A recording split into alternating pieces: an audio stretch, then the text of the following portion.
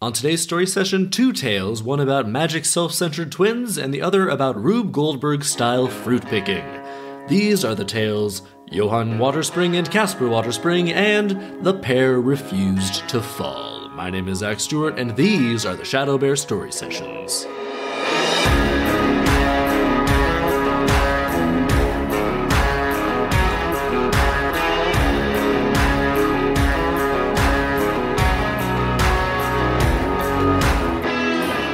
Welcome to the ShadowBear Story Sessions, the podcast about how brutally dark and totally insane folktales and fairy tales used to be, which, in my opinion, just made them way better. So we're going through the original versions of Grimm's fairy tales, story by story. We'll figure out the lessons of each story, whether intended or not, and afterwards I'll adapt the tale into a movie or TV show. Today we've got two tales, because the first one is very short, but it's also pretty stupid. So we're not going to spend a ton of time on it, and we're going to move right on to the second. But it's still ridiculously hilarious, so we are going to get into it. All right, let's get right to it with today's first tale titled The Pear Refused to Fall. We begin.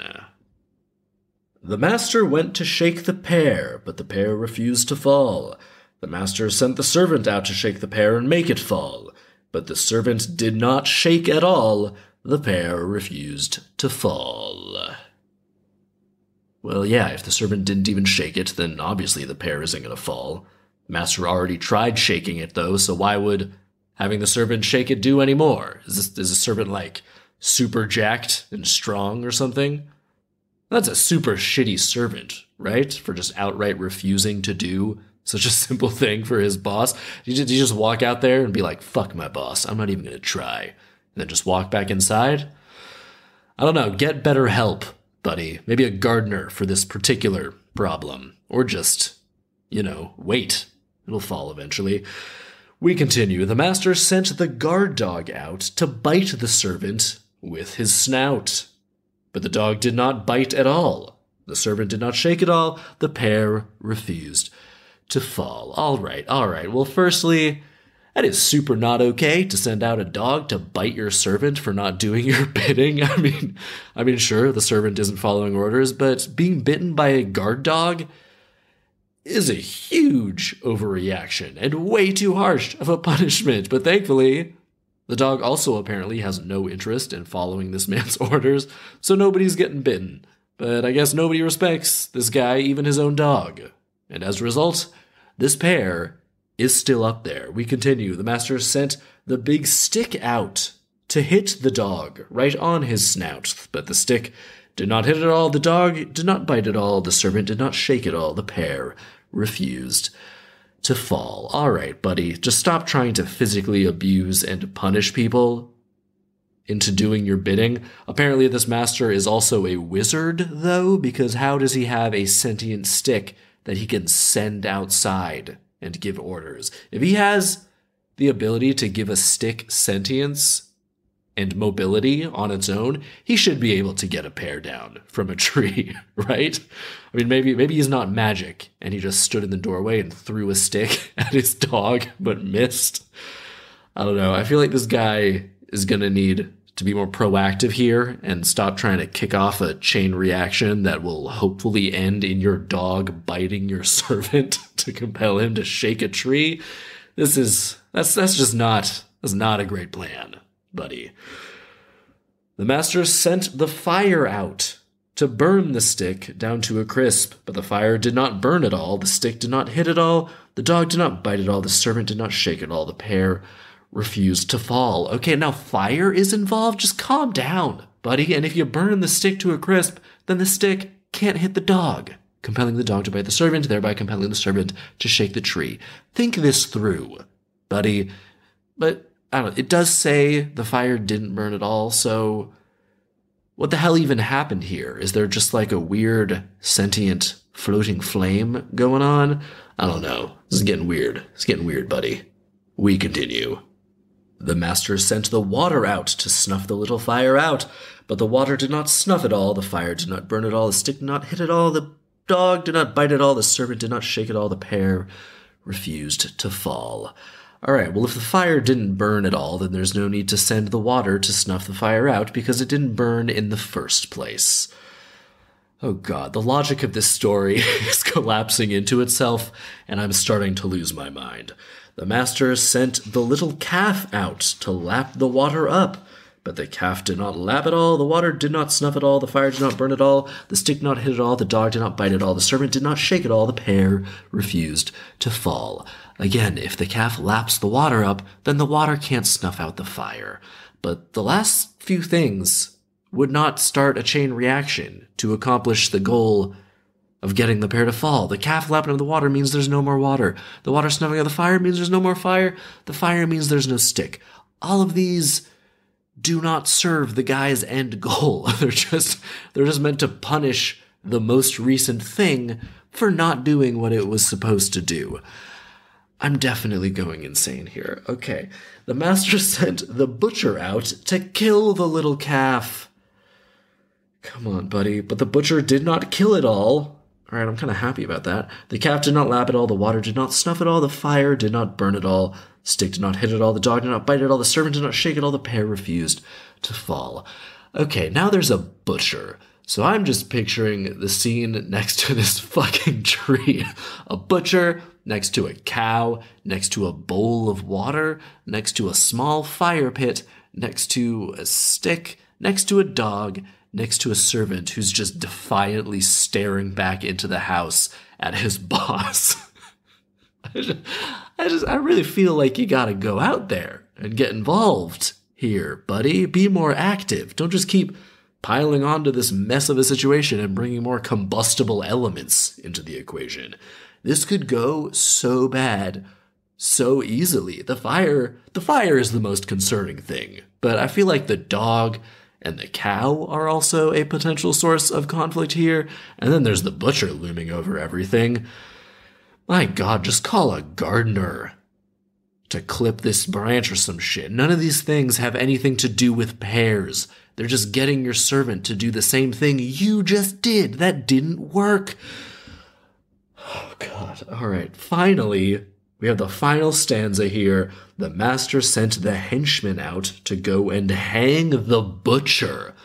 Oh my god, so now there's murder involved. Now the butcher wants to kill the calf. The calf wants the water to lap. The water wants the fire to snuff. The fire wants the stick to burn. The stick wants the dog to hit. The dog wants the servant to bite. The servant wants the pear to shake. And the pear is ready to fall. The end. Wow. Okay, on its face, this one seems crazy. But I think I get it. I think it's basically saying things will happen when they happen. You can work yourself into a mess trying to force something to happen, but the pear the pear isn't going to fall before it's ready. Doesn't matter what you do or how many elaborate things you throw into the mix, sometimes that pear is just not ready to fall yet. But now I feel like if that is the message, then the henchman thing shouldn't have worked. Right? I feel like it was it was setting up that poetic ending, but then just bailed on it at the end.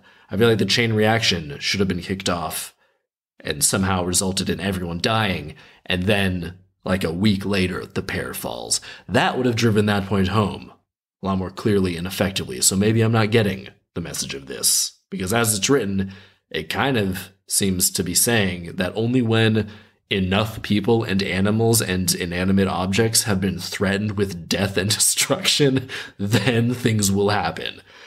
And I don't know if I agree with that. And if people aren't motivated, just add another person to threaten or punish the last person who didn't solve the problem. At some point, once there are enough people threatening to kill each other, then then you'll reach a threshold and and things will kick off and you'll achieve your goal.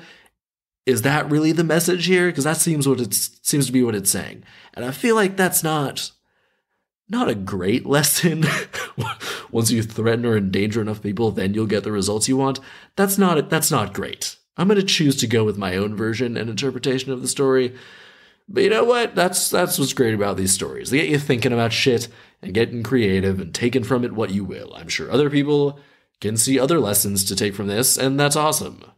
I'd love to hear what those might be because this is batshit crazy. And I love when people interpret things differently. But you know what? That was super quick, so we're going to charge right ahead onto the next tale, which is titled Johann Waterspring and Caspar Waterspring. Sounds delightful. We begin. A king insisted his daughter was not to marry, and had a house built for her in the most secluded part of the forest. Well, that fucking sucks. I bet a lot of a lot of fathers have similar instincts, but that is a terrible thing to do to a person. My god, he essentially just imprisoned his child in the forest. Okay, we continue. She had to live there with her ladies in waiting, and no other human being was allowed to see her. Yeah, this is. This is just a low key prison. At least she has some friends, though, those ladies in waiting. I mean, if they get along, maybe they don't, in which case this is hell. But they're probably pretty pissed off about the situation, right? The ladies in waiting, they've got families and friends too, but no, they have to take care of this random girl in a secluded prison, forest, forest prison forever. If this was real life, then at some point, one of these people would go insane and murder the other people. This is this is the setup for a horror movie. We continue.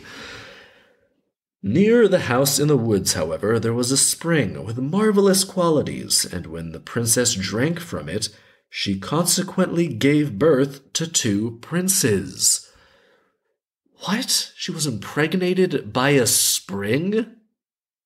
No, no, uh-uh, no, no chance. Either someone figured out how to get to this forest house, or one of the ladies in waiting is actually the prince's boyfriend pretending to be a woman, which is also a story I'd be pretty cool with. that sounds fun as hell. We continue. They were identical twins and named after the spring Johann Waterspring and Caspar Waterspring. Their grandfather, the old king, had them instructed in hunting, and as they grew older, they became big and handsome young men. All right, well, did the king not have any questions about this situation? How, how readily did he accept the explanation from the princess that the reason she was pregnant was because she drank from a magic spring? Because if I was that king, I'd want some proof. I'd want evidence. I'd be like, oh, so the, the spring is magic, huh? What else can it do? What other magic powers does it have? Show me now. oh, no, oh, okay, so it only does the crazy impregnating thing? That's fucking insane, but okay, we're gonna find a girl who wants to have magic babies, have her drink from the spring, put her in isolation, not in this secluded forest prison house, which I'm now incredibly suspicious of, and we'll see if she gets pregnant too. I would want some answers if I was this king. And I'd be looking out to see if these kids ended up looking like anyone who happened to be hanging around at the time. All right, we continue. When the day arrived for them to set out into the world, each received a silver star, a horse, and a dog to take on the journey.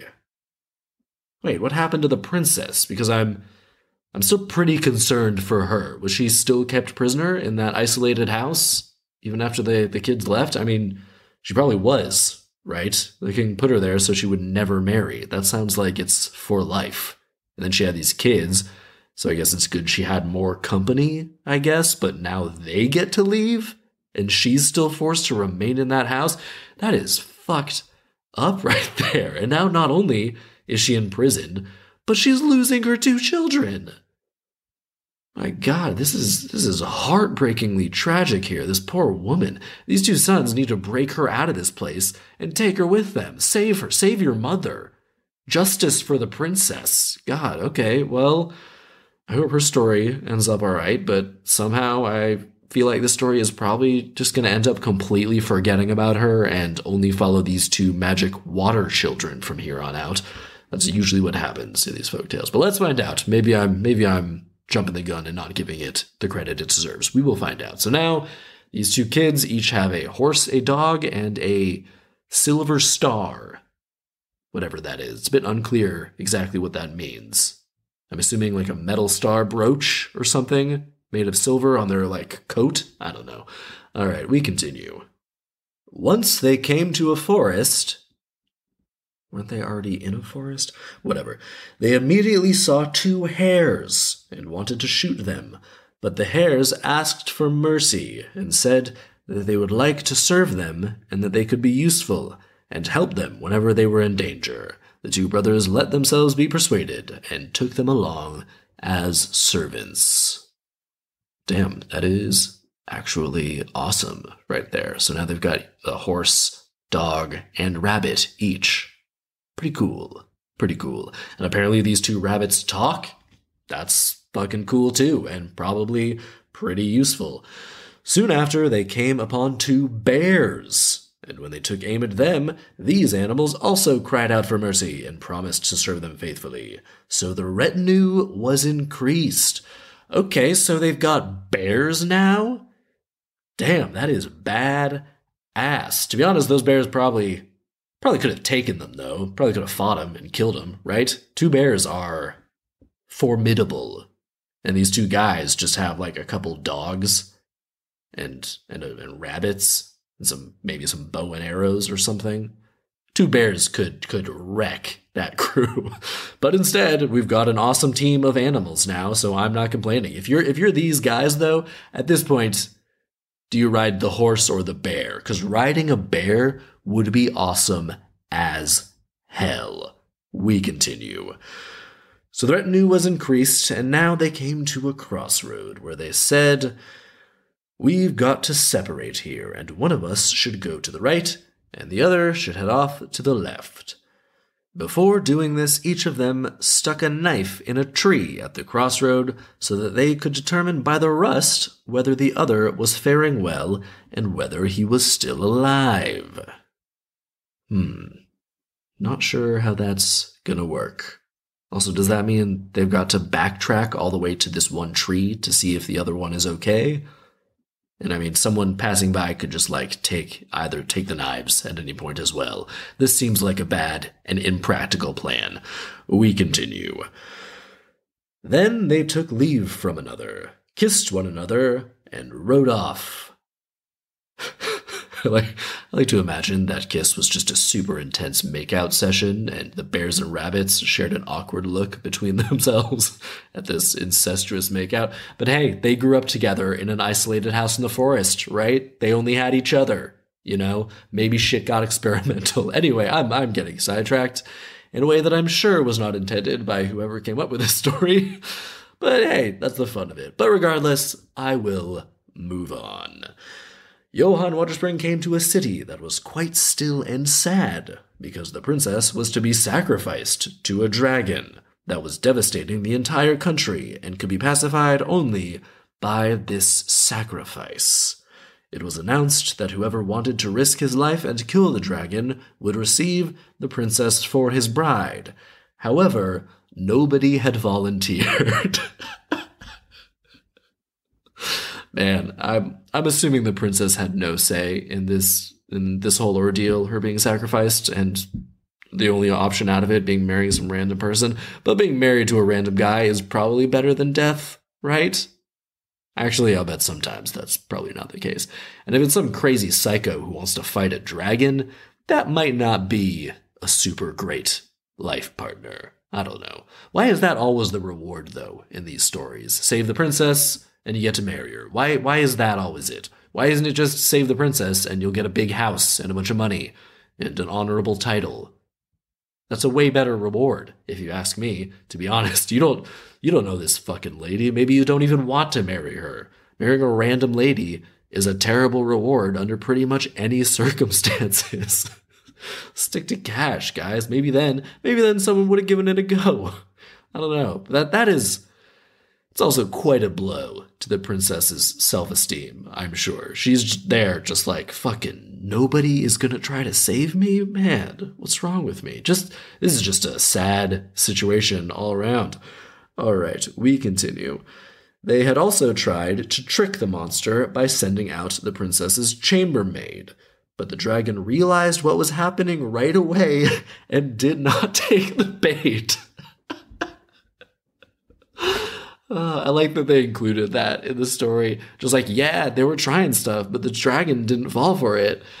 Man, how pissed off do you think the chambermaid was when she came back to the castle after that shit? Just like, fuck you guys, I've done nothing wrong, and you try to sacrifice me to the dragon?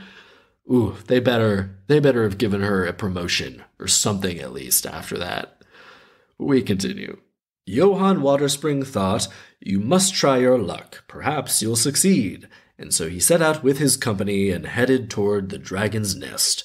The battle was fierce. The dragon spewed forth fire and flames and ignited all the grass around them, so that Johann Waterspring certainly would have suffocated if the hare, dog, and bear had not stamped out and subdued the fire.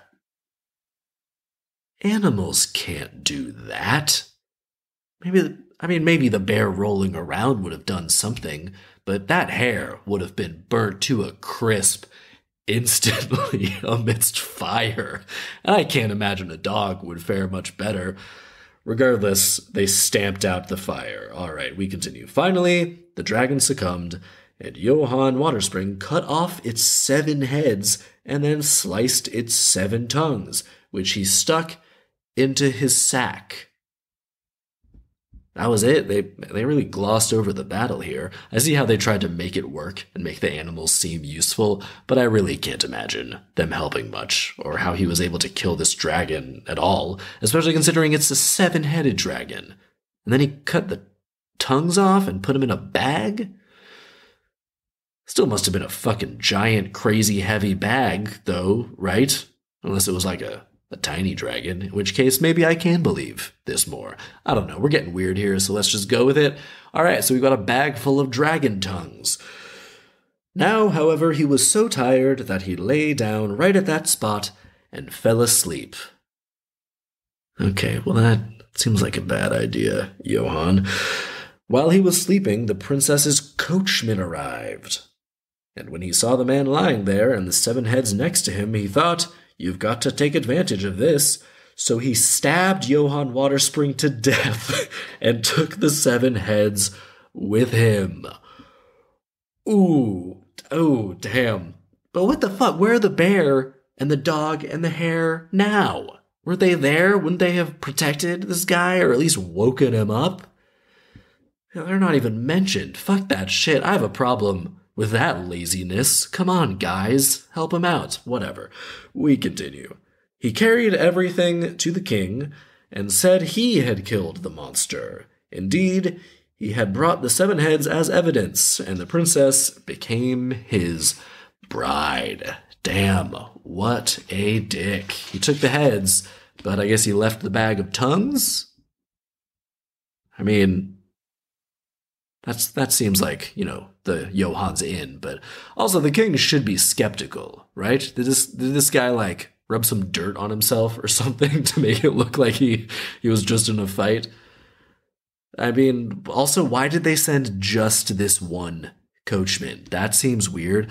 Whatever, he's a dick who stabbed a guy who was asleep, and he's married to the princess now. In the meantime, Johann Waterspring's animals had set up camp nearby after the battle, and had also slept.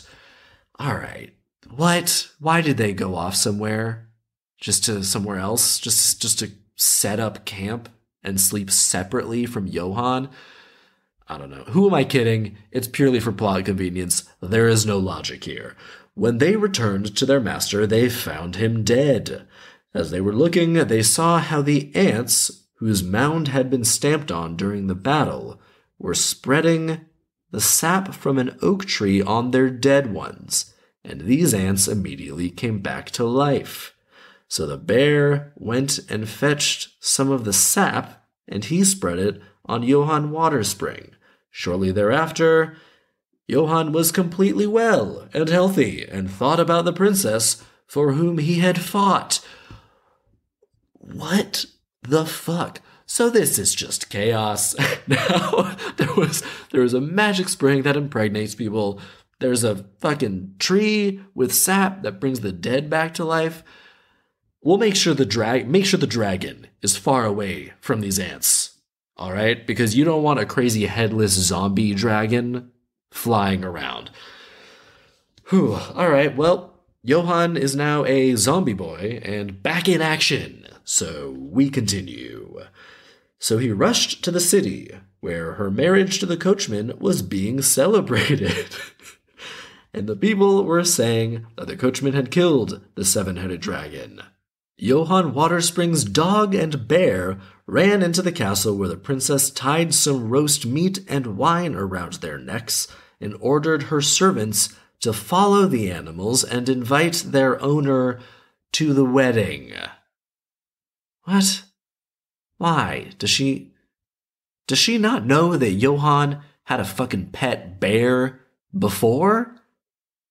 Before he went out to try to fight the dragon? That shit tends to stand out. A dude with a pet bear. Did Johann not go meet the king and tell them he was going to go get the dragon? I feel like.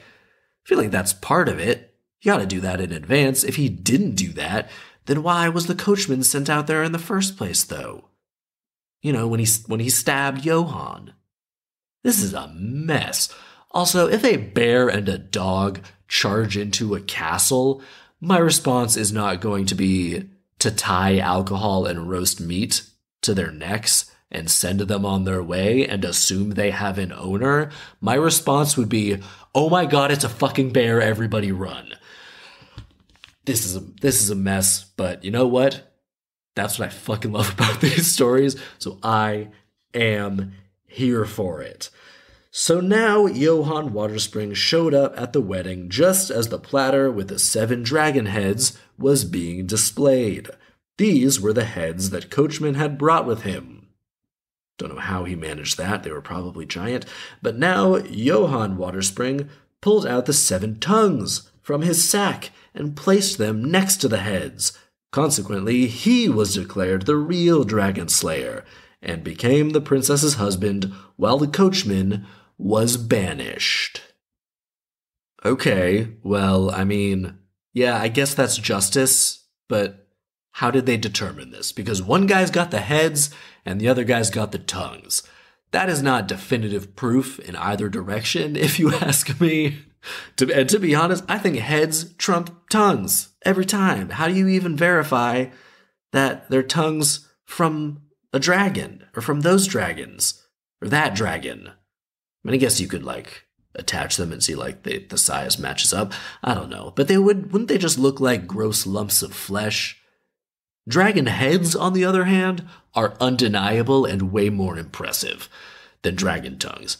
Also, what was the purpose of the bear and the dog going in there in advance? Was that just to explain why Johann why Johann got an invite to the wedding? Because that's that's just hilariously forced. All right, the the the tongues versus heads dispute is messy though, and I feel like they glossed over it. And I kind of want like a whole courtroom style scene where they litigate that one issue. We continue. Not long after, Johann went out hunting and followed a deer with silver antlers. He hunted the deer for a long time, but could not catch it. Finally, he met an old woman who turned him and his dog, horse, and bear into stone. Whoa, f- fucking hell, that went bad really fast. I thought, thought Johann finally had it made. Damn, that is that is some shit luck right there. I thought he could coast for a little while, maybe, after now he finally got justice, you know.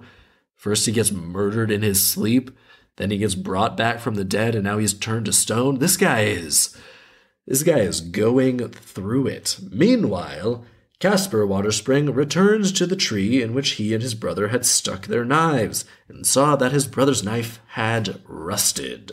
He immediately decided to search for his twin and rode off. What had Caspar been doing all this time? Can we hear about Caspar's adventures? Because Johann, Johann's been real busy. What's what's Caspar been up to? Did he just find like a party town and just chill and enjoy himself for a while? Because I still, still, I would want to hear about those stories. Soon he came to the city where his brother's wife was living. She thought he was her real husband because he looked just like him, and was delighted by his return, and insisted that he stay with her. that must have been super uncomfortable. Surely Johann must have mentioned he had a twin, though, right? They're married, that comes up.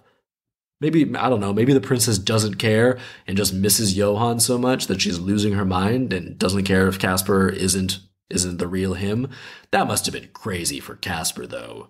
Going like, "No, no, no, I can't I can't stay. I'm not your husband. Something is wrong with Johann, my brother, and I have to find him."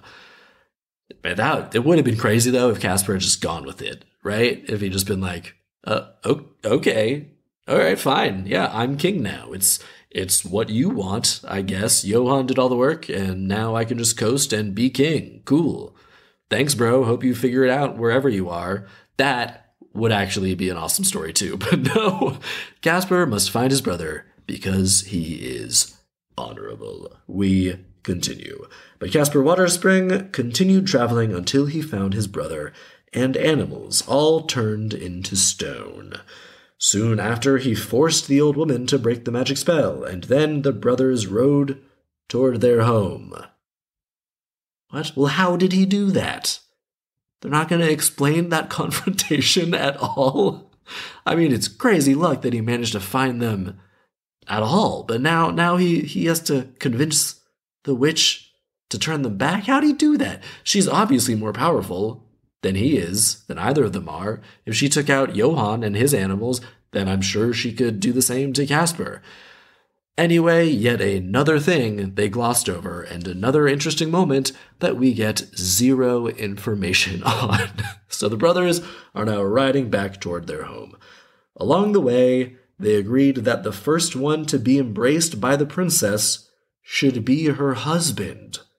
Well, it turned out to be Johann Waterspring. The end.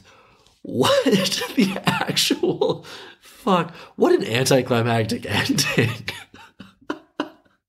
oh god. Okay. First of all, why would they agree that the first one to be embraced by the princess should be her husband? Johann is her actual husband. They can't just decide to switch places without the princess's approval? I mean, okay, I mean, the princess did seem perfectly happy having Caspar just stay and be her husband, which is pretty fucked up, to be honest. But now that Johann is back, that should no longer be an option. Johann killed the dragon and was already married to the princess. That's the end of it. You don't you don't pull a switcheroo. Saving Johann does not give Caspar the right to just take over as king or or as the princess's husband. That is. That is insanity. If the princess accidentally hugged Caspar first, were they just gonna be like, yeah, I'm actually Johann, your husband, but since you hugged him first, you're married to him now. If that happened, the princess would be like, what? No, you're you're my husband. You're just giving me to your brother who I don't even know? What do you not want to be married to me or something? What the fuck is your problem? even even though it worked out to be Johann, it's still going to be super awkward between Johann and the princess, who knows that Johann was prepared to just give her to his brother for seemingly no reason.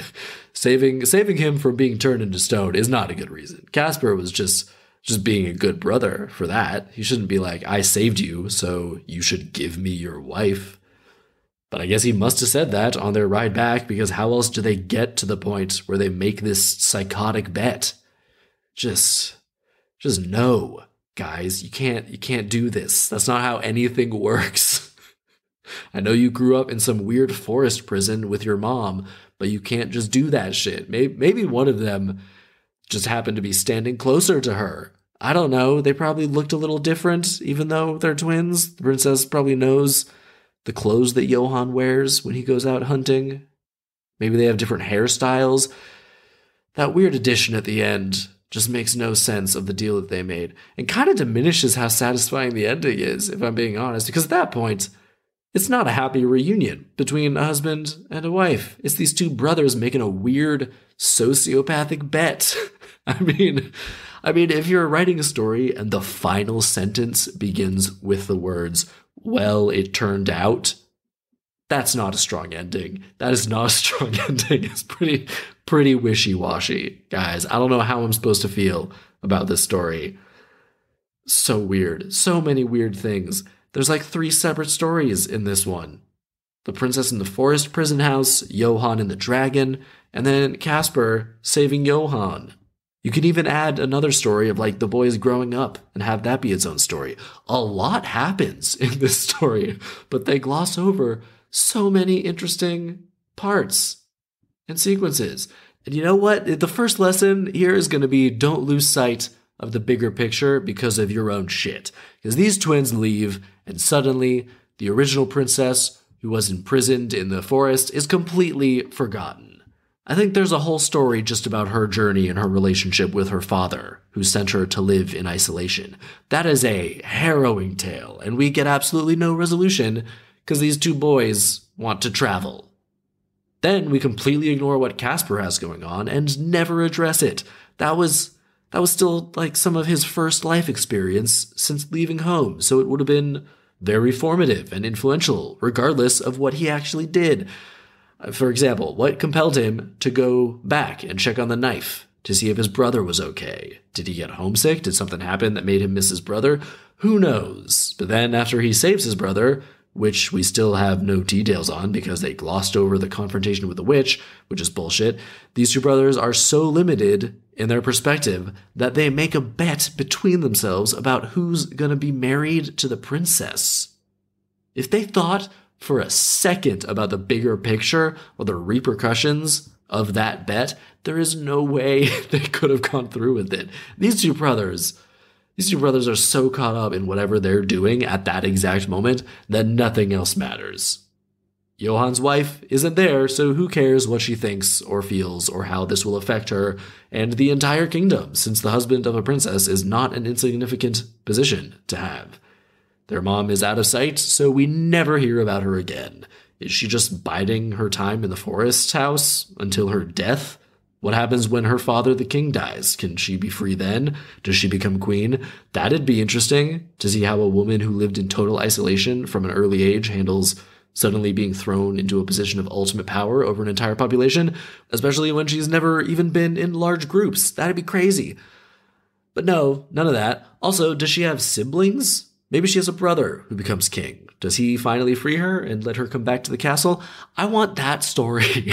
but these these fucking selfish magic puddle twins don't ever seem at all concerned with anyone other than themselves. So that's the main lesson I'm going to take from this. Keep the bigger picture in mind and consider other people when making your decisions and living your life. It's a big world out there.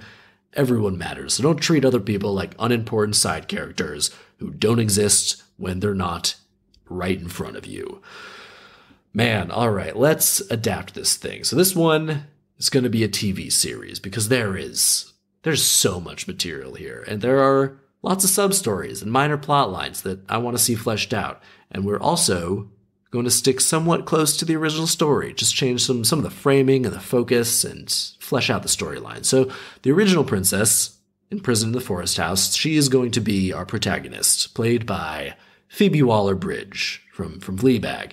She is banished to a house in the forest by her father, the king, who will be played by Brian Cox from Succession, because Brian Cox is like the guy if you want someone to be an authoritative but brutal king style character.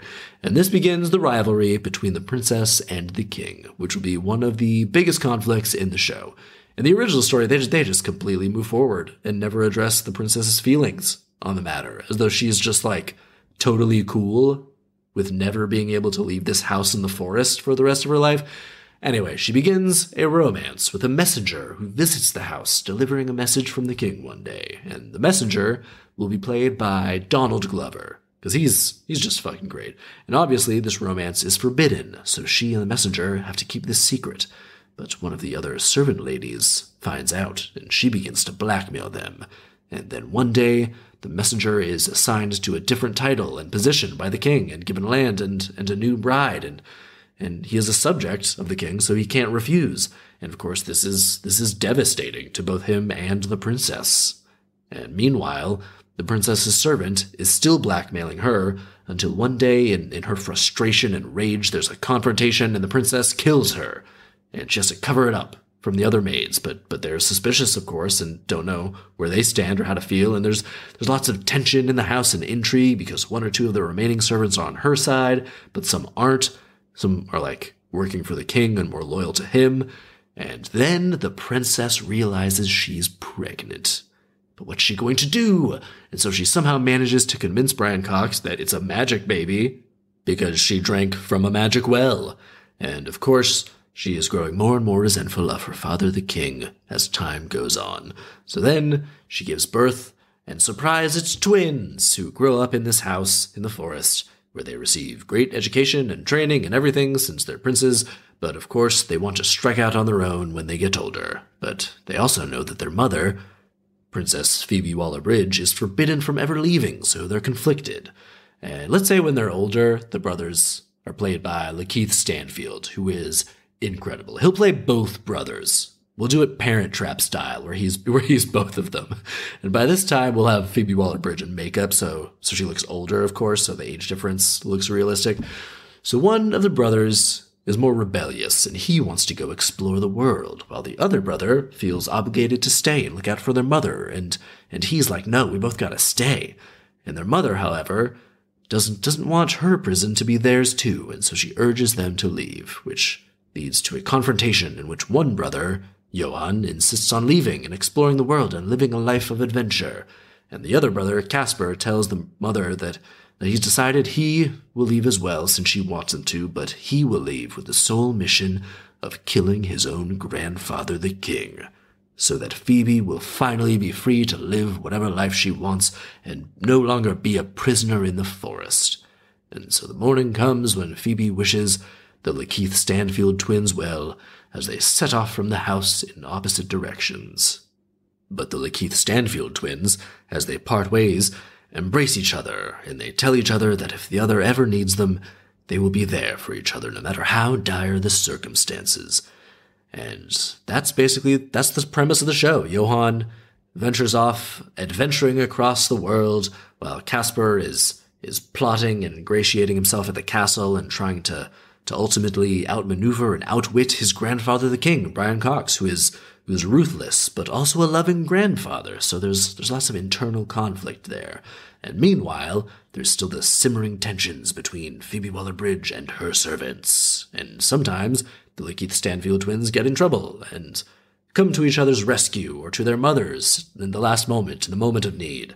And we haven't even gotten to the business with the dragon or the witch turning people into stone or any of that. There are so many places to go with this and so much more emotional stakes and character driven material here. Holy shit, I I actually really want to see this show now. I want this show to exist. And that will do it for this week's story session. Don't forget to rate, review, and subscribe. Also, become a patron. If you like the show, then becoming a patron on Patreon would really help me continue being able to make it. Come on back next time for a story titled The Bird Phoenix. Sounds intense. Isn't that a little redundant, though? Can't you just call it The Phoenix? Maybe there are layers to it. I don't know. Come on back next time and find out. My name is Zach Stewart, and these are the ShadowBear Story Sessions.